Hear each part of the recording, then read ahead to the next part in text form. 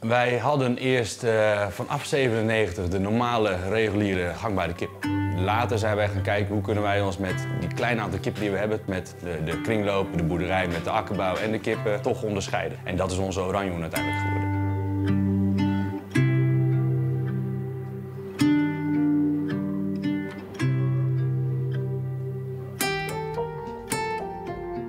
Ik ben uh, Johan Leenders. Ik heb een uh, akkerbouw en kippenboerderij.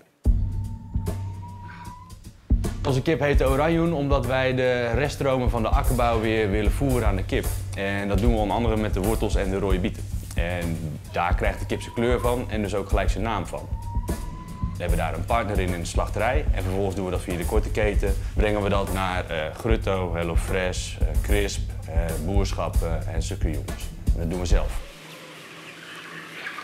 Er gaat niks van die kip gaat weer naar het buitenland. Alle delen, dus als je nou de filet hebt, of als je de dijen hebt, of de vleugeltjes, of zelfs het karkas, daar maken we dan weer soep van.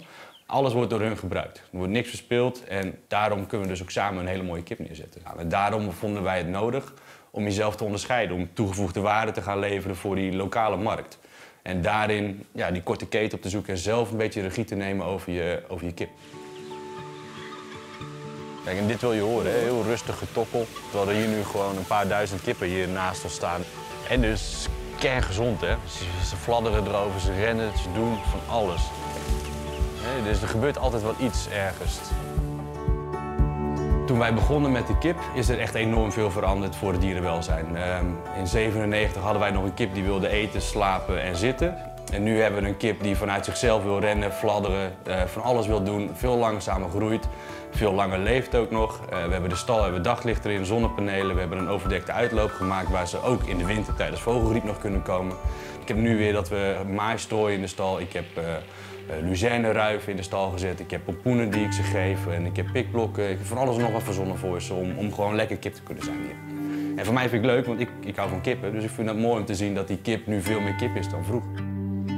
Het is veel werk en je moet daar als boer zijn ineens uh, marketeer voor worden, je moet er verkoper voor worden, je moet er allerlei andere dingen voor gaan doen.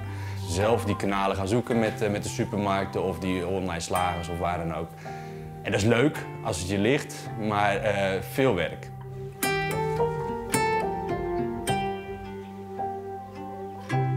We hebben een kip die er anders uitziet. Hij is duurzamer doordat wij dierenwelzijn doen, energie-neutraal zijn, geen soja, dat soort dingen allemaal. Dus ja, mensen worden er hartstikke enthousiast van.